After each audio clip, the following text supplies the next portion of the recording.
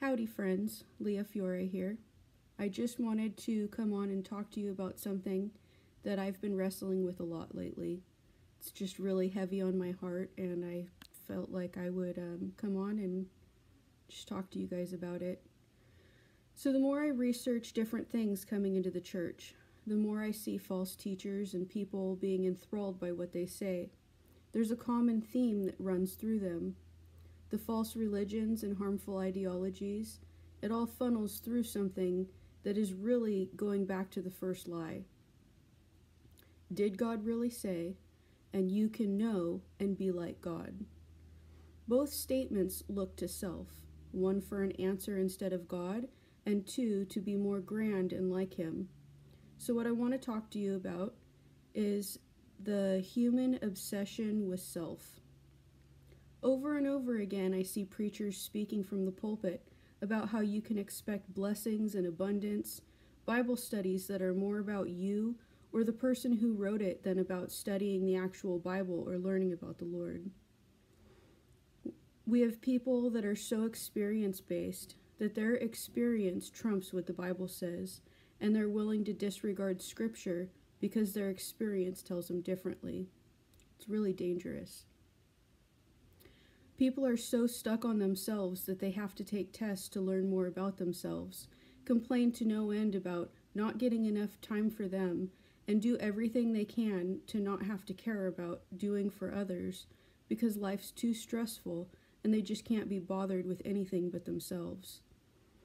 We have parents who are rejoicing when their kids leave and go to school because they don't know what they would do if they stayed home, and people following their heart and feelings instead of being led by the word, which is what we're supposed to be doing. Luke 9 23 through 25 says, Then he said to them all, Whoever wants to be my disciple must deny themselves and take up their cross daily and follow me. For whoever wants to save their life will lose it, but whoever loses their life for me will save it. What good is it for someone to gain the whole world and yet lose or forfeit their very self? I love it because my pastor just spoke on this, and it perfectly fits into the stuff that's going on in the world right now. It says we must die, deny ourselves and take up our cross daily and follow Christ. It isn't, well, maybe you should or would you, it's you must, and we must do it daily. Galatians 2:20 says, I have been crucified with Christ, and I no longer live, but Christ lives in me. The life I now live in the body, I live by faith in the Son of God, who loved me and gave himself for me.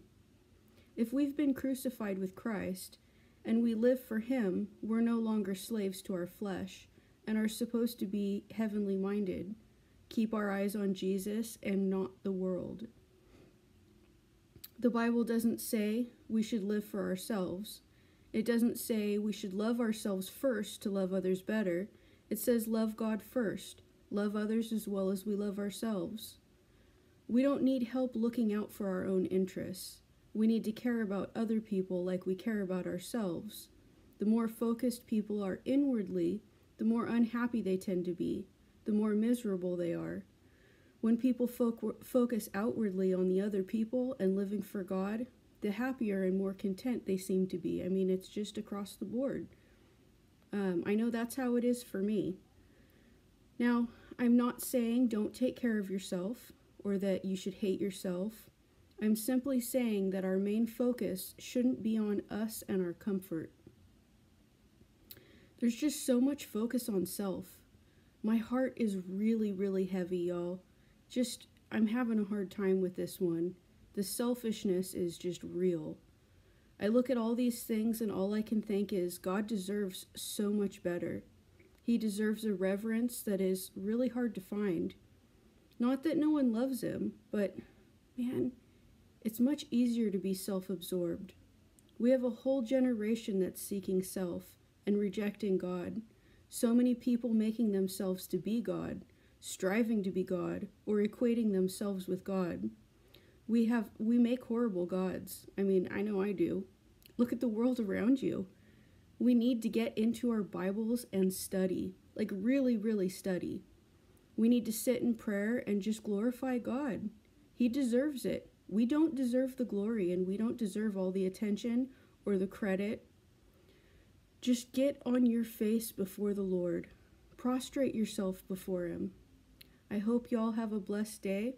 Love you, friends.